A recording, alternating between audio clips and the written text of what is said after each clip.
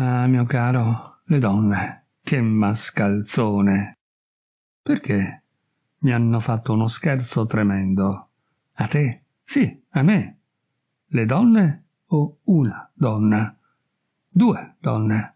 Due donne contemporaneamente? Quale scherzo? Due giovani erano seduti dinanzi a un gran caffè del boulevard, sorbendo quegli aperitivi che hanno l'apparenza di infusioni fatte con tutte le sfumature di una scatola di acquarelli. Avevano pressappoco la stessa età, dai 25 ai 30 anni. Uno era biondo, l'altro bruno. Avevano la mezza eleganza dei mediatori, degli uomini che frequentano la borsa e i salotti, vivono dappertutto, amano dappertutto. Ti ho raccontato, vero? La mia relazione con quella borghesuccia incontrata sulla spiaggia di Dieppe. Sì, tu sai com'è andata quella faccenda. Avevo un amante a Parigi, una donna che amavo, una vecchia amica, una buona amica, insomma, un'abitudine, alla quale tenevo moltissimo. Alla tua abitudine? Sì, alla mia abitudine e anche a lei. Era maritata a un brav'uomo, cui volevo molto bene ugualmente. Un buon ragazzo, cordiale, un vero amico. Era una casa, insomma, dove avevo sistemato assai bene la mia vita. Ebbene, ebbene, questi coniugi non potevano abbandonare Parigi e mi trovai l'estate scorsa a Dieppe, vedovo di lei e di lui. Perché andavi a Dieppe? Per cambiare aria, non si può rimanere sempre sui boulevard. Allora, allora incontrai sulla spiaggia la piccola di cui ti ho parlato. La moglie del capufficio? Sì, sì, si annoiava molto.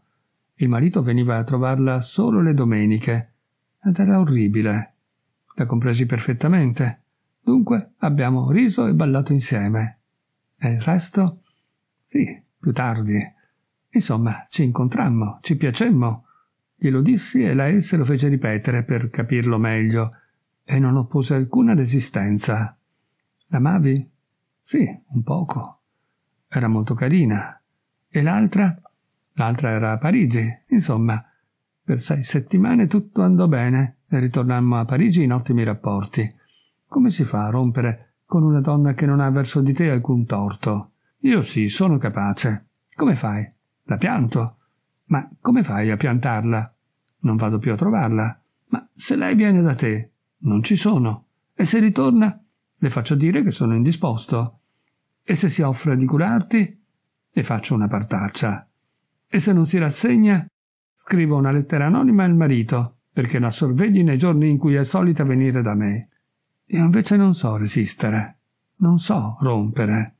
Ne faccio collezione di donne, e ve ne sono di quelle che non vedo più di una volta all'anno, altre ogni dieci mesi, altre ancora ogni mese, altre invece nei giorni in cui hanno voglia di desinare in trattoria. Quelle che ho così scaglionato nel tempo non disturbano. Mi trovo imbarazzato con quelle nuove, per distanziarle un poco. Allora, allora la mogliettina del capo ufficio al ministero era tutta fuoco, tutta fiamma, senza difetti, come ti ho detto. Poiché il marito trascorreva tutti i suoi giorni in ufficio, era abituata a venirmi a trovare all'improvviso. Due volte rischiò di trovarvi la mia abitudine. Diavolo, sicuro, fissai a ciascuna determinati giorni per evitare confusioni. Il lunedì e il sabato all'antica, il martedì, il giovedì e la domenica alla nuova. Perché questa preferenza? Ah, mio caro, perché era più giovane. Così che ti rimanevano due soli giorni di riposo per settimana. Mi bastavano. Congratulazioni.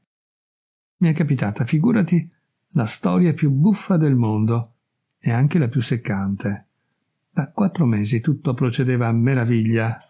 Dormivo fra due guanciali ed ero veramente felice, quando all'improvviso lunedì scorso aspettavo la mia abitudine all'ora consueta, al tocco e un quarto, fumando un sigaro. Fantasticavo, molto soddisfatto di me stesso, quando mi accorsi che l'ora era trascorsa. Fui sorpreso perché lei era solitamente puntualissima. Credetti a un piccolo ritardo casuale, Tuttavia una mezz'ora passò, poi un'ora, un'ora e mezza. Compresi che doveva essere stata trattenuta da una causa qualunque, un'emicrania forse, o un infortunio. Sono molto noiosi questi contrattempi. queste attese.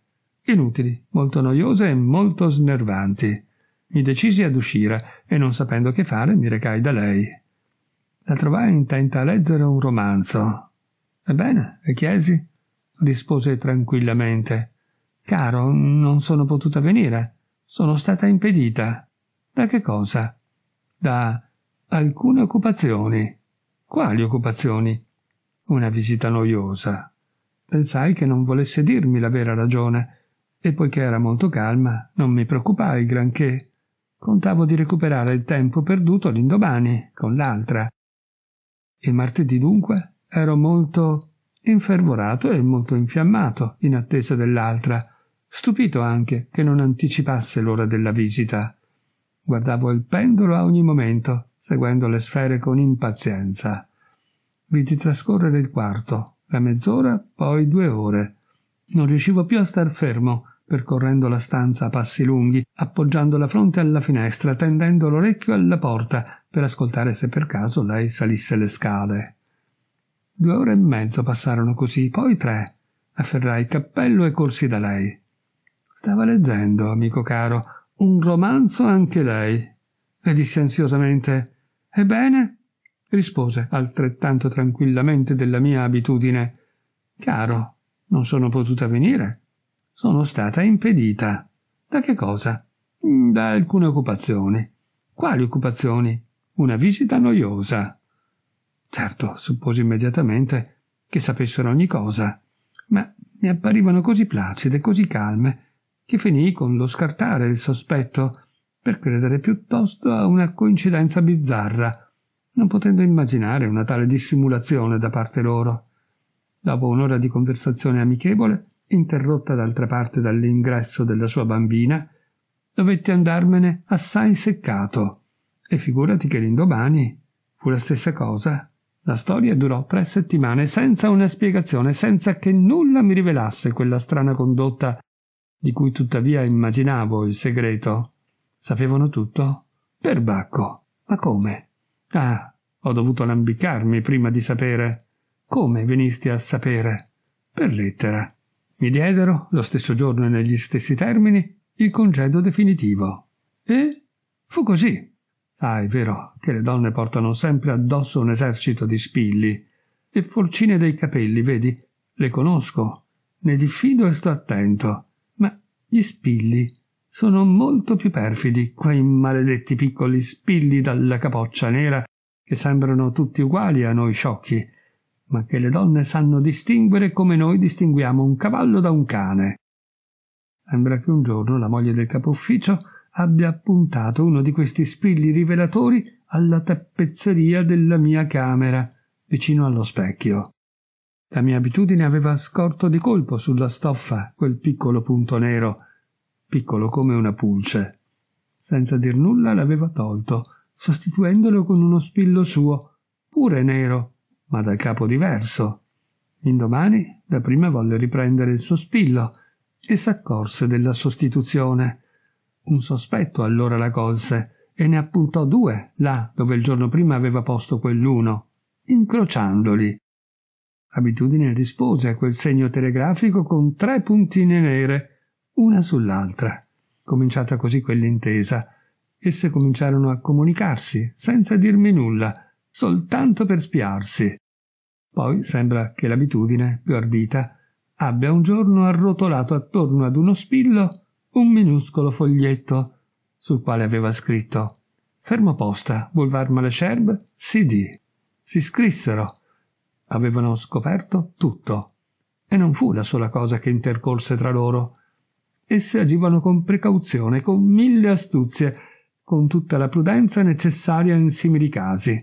Ma l'abitudine ebbe un colpo d'audacia e diede un appuntamento all'altra. Ignoro ciò che si sono dette So soltanto che ho fatto le spese del loro appuntamento. Ed ecco tutto. Tutto qui? Eh, sì. E non le vedi più? Le vedo ancora, ma come amico. E loro? Si sono rivedute? Sì, sono diventate amiche. Molto, molto intime. Guarda, guarda. E questo fatto non ti fa venire in mente un'idea? No. Quale? Ingenuo.